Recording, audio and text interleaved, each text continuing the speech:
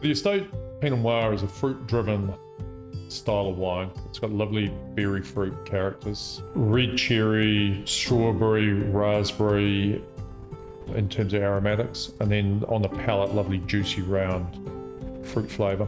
Because this wine has a lovely soft palate, it can be enjoyed on its own. This fruit forward style pairs really nicely with food. Barbecue through into winter, heavier, richer stews. Very easy drinking, soft. It's been matured in old barriques. There's not a lot of oak character to the wine, so it's really that varietal fruit character.